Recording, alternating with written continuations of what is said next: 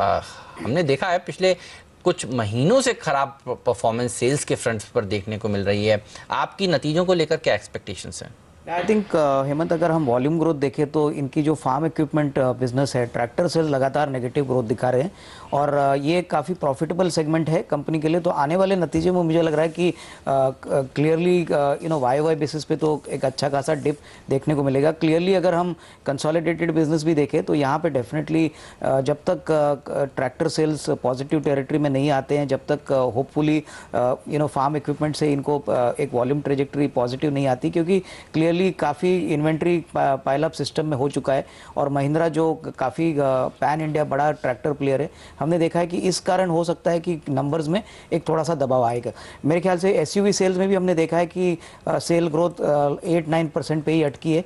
यहाँ पे भी डबल डिजिट ग्रोथ नहीं आ रहा है। तो यहाँ पे जब तक कोई नए प्रोडक्ट लॉन्च नहीं होते तब तक हो सकता है कि शेयर एक नेगेटिव बाय से ही ट्रेड करे। ओके तो ये राया तीन सारे शेयरों पर लेकिन